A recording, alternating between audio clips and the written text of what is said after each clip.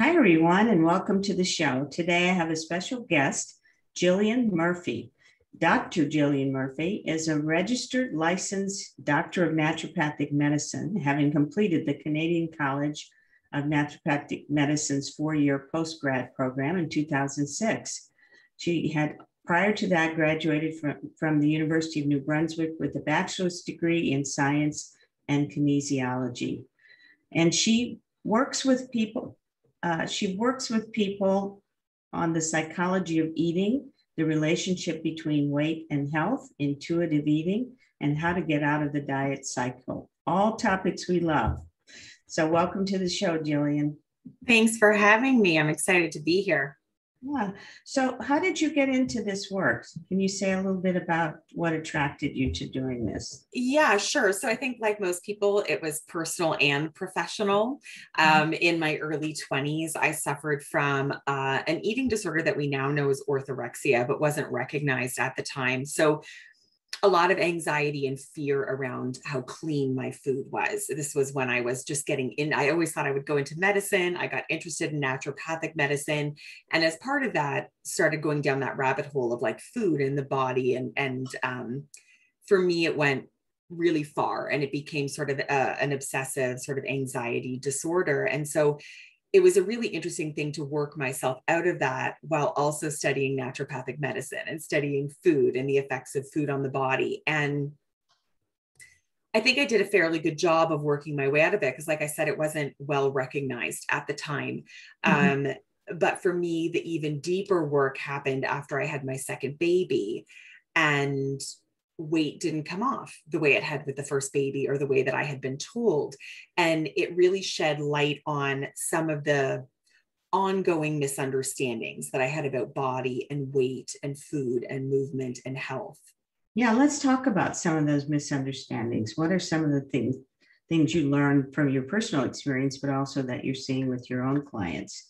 Right well yeah. well at that time yeah at that time i think i had thought that i'd worked myself you know out of this like food issue but the underlying continued misunderstanding that my weight was a direct reflection of my health and that any change in my weight was a representation that there was something wrong with my health. And so, as I tried to get the weight off after that body, I started to notice myself going down those not so healthy holes again that I had done in my early 20s.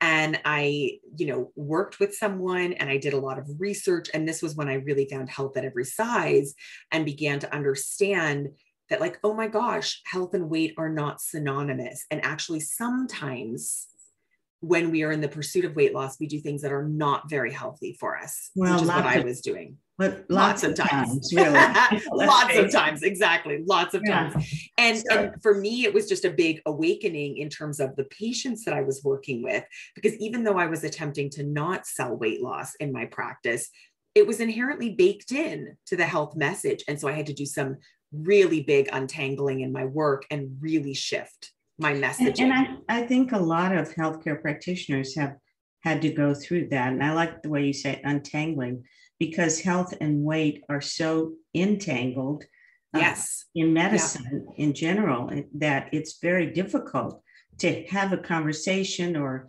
to even talk about health without people wanting to lose weight. And I, I know that uh, there's a term now that's called healthism, which uh, is pointing to what you're talking about, which is yes. just that people are saying, oh, no, I don't want to lose weight just because I, I want to look good. I want to lose weight for my health. And that's the new way of saying, you know, I want to go on a diet, essentially.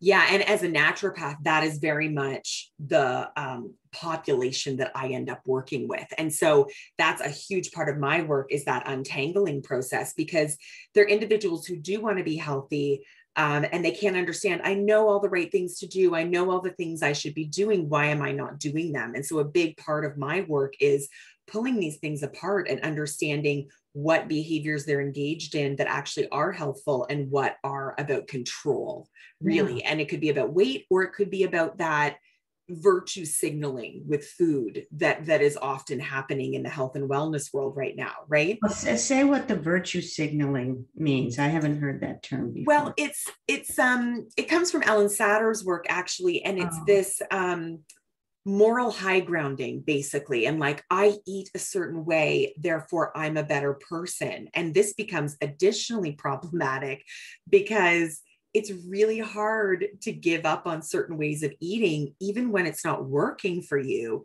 if mm. you think that your goodness as a human being, your intelligence, your um, virtue, um, yeah, is is tangled up in the food that you eat. It becomes and, and really tricky. Goes, actually, that goes back centuries, and it it also dovetails with uh, a, a, lot of what we're learning now about how BMI came about and uh, and how racist BMI is.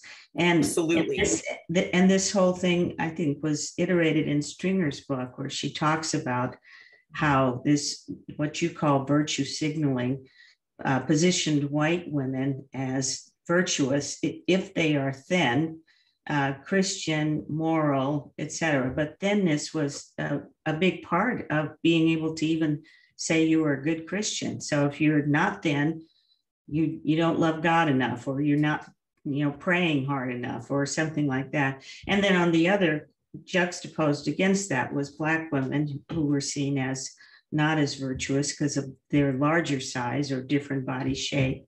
And uh, and it's continued to this day so it's amazing. Right. right like it must be their fault because of their inferiority as a human being and it and it paved the way for all kinds of dehumanizing belief systems and practices that are just illogical and they're they're not scientific and they're not true and they don't make sense. But yeah it was very much about separating european women white women from immigrants and, and women of different yes. color. And then, yeah, Sylvester Graham, you know, if we go all the way back to that graham cracker, which was actually a really awful, diety, bland cracker that he used to sell, you know, he used to sell as part of his restrictive diet plan to control sexuality and to control wow. virtuousness. But yeah. Well, but then there are some mores. Yeah. Yeah. That made, that made the graham, graham cracker a lot more sinful, right? yeah. And it became a more delicious thing over time. You know, it was yeah. really this very bland. But yeah, you're totally right. Like the the roots of this, we can say it's for health, but you're right. It's it was ableist, it was classist, it was racist, it was like so many of the isms are baked yeah. into cur- the current health and wellness system. And I, you know, I think the thing that always amazes me is, you know, a lot of people um, during, especially in the United States, I don't know how the protests have played out in Canada, but in the United States, you know, there has been a lot of uh, pushback from white women who, you know, many of whom identify as conservative women and so on, against the um, the protests. And I think it's the same kind of mentality that was set up by these, you know, strategies to which held white women down as much as they held black women down. Do you know what I'm saying? Yeah, so, are you talking about the Black Lives Matter um, protests? Yeah, Black Lives yeah, Matter yeah, and that yeah. idea of like, um, like being against the violence of the protest while not acknowledging right. the centuries of violence that's been imposed on bodies, and that there's a real difference in, you know, acting out and pushing back against systems of oppression that literally are dehumanizing versus breaking a window of a store. Like these are different things, and right. equating them is wrong. It's but making them the same thing is wrong. Right. Exactly. Yeah. But I think uh, I'm I, I'm not saying it uh, as well as I should be able to say it, but the other part of it is this notion that uh, this like black lives matter is a black struggle. So it doesn't have anything to do with people you know white folks or white women. But the same oppression that happens with black people also happens in some degree not not exactly the same degree but uh, the degree against white women. And and this struggle to be always be thin and be virtuous is a perfect example of that because it has led to white women developing you know de- hundreds of years of eating disorder behavior and body hatred mm. It, yeah, know, Sonya Renee, yeah, Sonya Renee Taylor talks about this, and it's like I think I think what you're saying, I think I'm getting is like there, there's this idea that there are systems of structure and structures of power in place that rank human bodies. Yeah. And it ranks human bodies based on race, but also ability and thinness and many other things. And, and gender and sexuality is also one of those things. And that, you know, I think I think Sonya Renee Taylor talks about the fact that, yeah, it's, and I talk about in my work often, this idea of like, it's difficult to unhook from those systems of power when you have the illusion of benefiting from it in some way. Right. And so it's like, I have this access as a white woman, if I can keep myself thin enough, I have access to these terrible it's dregs of power, right? Yes. Like I, I have the a dregs, bit of access. Exactly, yeah. the dregs. It's like uh, this pitiful, but I'll mm-hmm. take it. If I can just hang on to this and maintain my stature in the system, I'll take it because it's all I've been told I can get. And mm-hmm. yet, really, Naomi Wolf writes about this as well. We really benefit when we unhook from the system and we unhook from the ranking of human bodies. Mm-hmm. That's mm-hmm. when we really win. When you're within it, you're always at the mercy of mercy it. of it. Yes, exactly. Yeah. And you know that I think the um, way to control women has always been about controlling women's bodies. You know, the abortion struggle is an example of that. Uh, we have a challenge now in the United States to Roe v. Wade, but being thin, I think, is the primo way that women of all sizes, shapes, and colors have been controlled by quote unquote the system which is yeah it's about obedience right? It's how obedient are you? How good are, like again it plays into that whole how virtuous how good are you? How smart yeah. are you? How much willpower do you have? And it's um yeah it's just such and, a harmful storyline. you know there's slut shaming against women who express their sexuality. There's also other ways that the virtue of women ha- has been challenged throughout the centuries but i think weight is one of the biggest political ways women are kept under control. And one of the, I mean, not that these other ways have totally dissolved because they absolutely haven't, but it's one of the most, um, it remains one of the most socially acceptable ways to mm-hmm. control, right? Like it's, yeah. it's still thought of by large groups of people as and and professionals as resolutely helpful to continue to be controlled by weight and food and so there's just and that's one of the reasons why i got into the work that i do and became a, a, non-diet practitioner because i have worked with literally thousands of women over the 30 plus years i've been in medicine who have spent so much money so much of their time so much of their energy who have limited themselves uh, from reaching out for a bigger career or for a relationship or you know, fill in the blank um, because, because they were waiting to get thin and they didn't feel that they could have what the life they really wanted unless they were thin. And that it, and that's, you know, it's unbelievable that intelligent, bright, you know, heartfelt women with so much to offer would be putting so much of we would be putting so much of our time and energy into obsessing literally about food and, and weight. Yeah, one of the reasons that I put, you know, in my bio, I talk about a little bit about, you know, I work with smart, diverse women, you know, it's to highlight the fact that a lot of the women that I work with are incredibly intelligent and effective mm-hmm. and successful. Mm-hmm. And so this becomes the one thing that they don't understand why they're failing at it, because that's the trick of diet culture, right? 90% of people fail at it, but it makes every person feel like they are individually failing. And because of the virtuousness that we've been talking about, eh, there's so much shame involved that nobody wants to take a look at it. Right. And so I always say, like, there was no box on the multiple choice test that said I could just choose maybe my body is fine after I had a baby and with some weight stayed on. Like there was no there was no vocabulary for that. There was no and option. There, and there are no movie stars who, who are coming in the media and saying, yeah, I have stretch marks. I'm okay with that. Or yeah, yeah my, my, my belly is, is a little saggy and it's okay.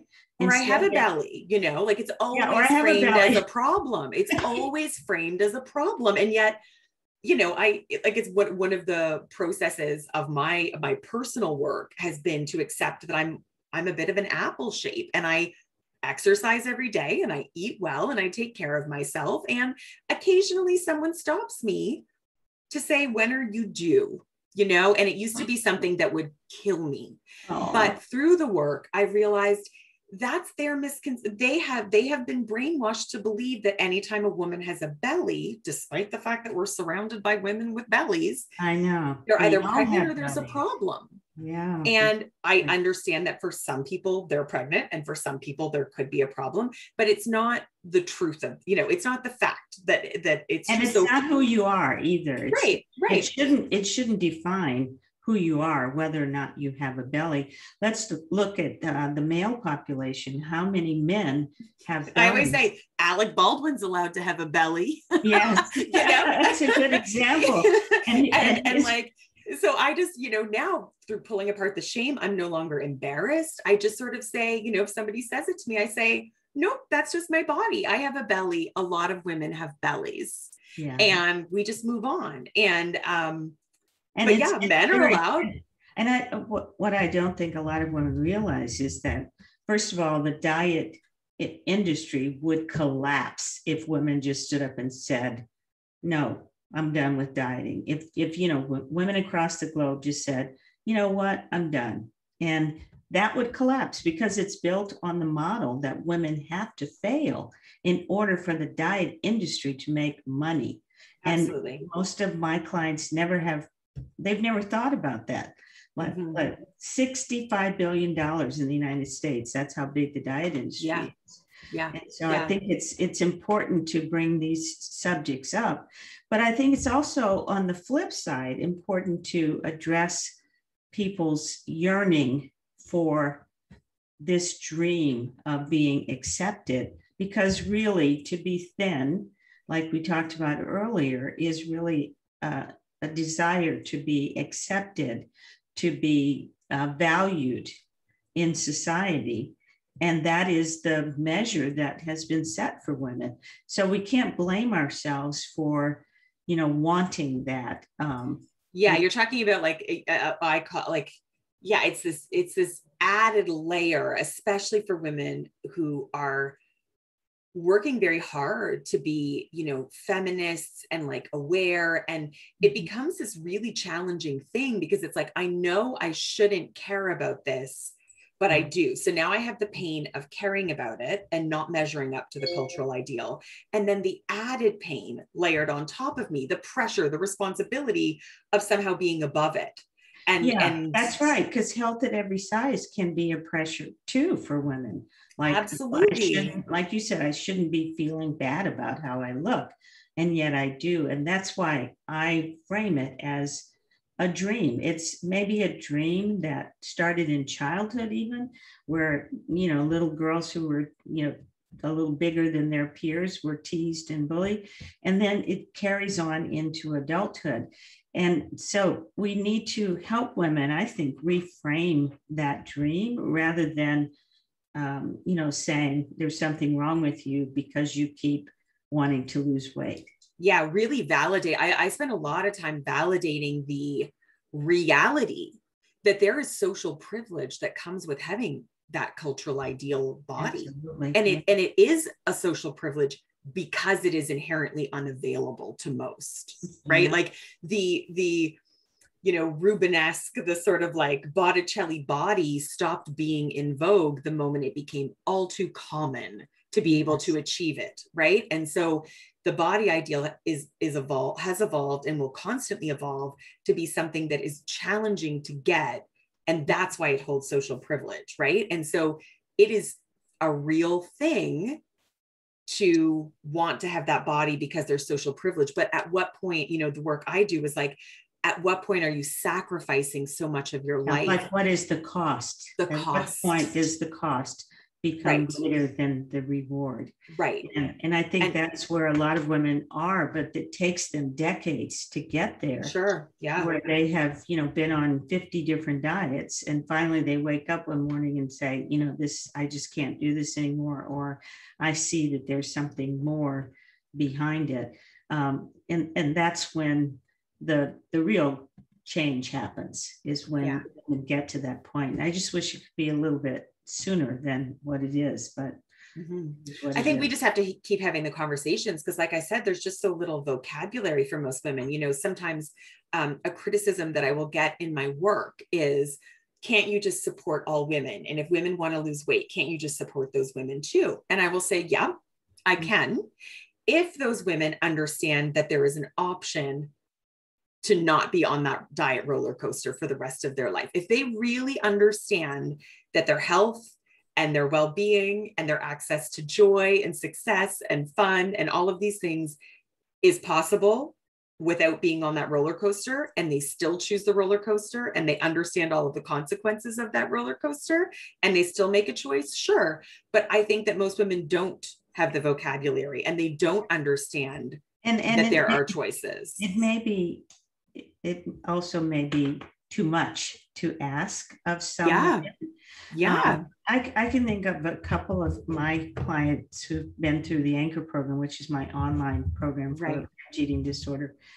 And, um, and, you know, one of them had been in the program for uh, probably a year and a half and just was still really struggling with uh, her behaviors, you know, binging and, and uh, just snacking all day and all of those things. And mostly was struggling with uh, dealing with her trauma. And because when we talk about behaviors, for me, that's just really a smokescreen for what's going on in the background. And, you know, trauma takes time and effort to, uh, you know, to, to heal. And so she was struggling with dealing with the trauma that she had been through. And, you know, at many points, people the trauma can take so long that people just want to give up and say, well, if I just lose weight, I don't have to deal with the trauma. So she got to the point where her doctors had, you know, multiple doctors that she was seeing told her, you have to lose weight for your health. And she and I had many conversations, which she was very you know, open about and listened and went back and forth. But at the end of the day, she decided to have bariatric surgery. So I mm-hmm. didn't throw her out and say, No way. Yeah. I didn't say, you're wrong, you're a bad person, you, you know, you're giving in to the diet culture, all of those things. No, I said, I support whatever you decide. And, you know, I'm basically, I'm here for you. Yeah. And, and so many, so I think However, there is a segment of people who, who work in this field who are, you know, much more militant about kind of demanding that women understand this and realize they can be healthy no matter what their size. I feel like women should make their own choices. That's the whole point. Yeah, I, am all about the like I'm human centered, right? And I understand part of my work is like really, really, really exploring the complexities of like like food isn't just fuel, it's complex, it's biopsychosocial, and so is our relationship to body and the world. And depending on childhood experiences, mm-hmm. depending on layers of marginalization and oppression, there's lots of reasons why people might choose. Again, for me, it, which sounds very similar to your approach, it's about presenting all of the options, mm-hmm. understanding the consequences. And then if you have to go down that route for whatever reason, how do I support you? We all know, anyone who works in this field, that bariatric surgery may result in some weight loss. It doesn't result in a better relationship with body or food. So that work still needs to happen. Yeah. Right. Yeah. Um, and and yeah, I, I am I'm totally in agreement. Like I think that the choices that people make are complex. It's all about presenting the options, understanding the benefits, the consequences, the results, and then how do we help support people to do as well as they can in their bodies? Yeah. And to gain freedom from yeah. obsessions and yeah. body hatred. Well, Jillian Murphy, it's been a pleasure to talk to you, and I'm really glad to have had you on the show. And maybe we, we can get you to come back again and talk some more about these issues. Yeah, I could talk for hours anytime. okay, I will talk to you soon. Bye.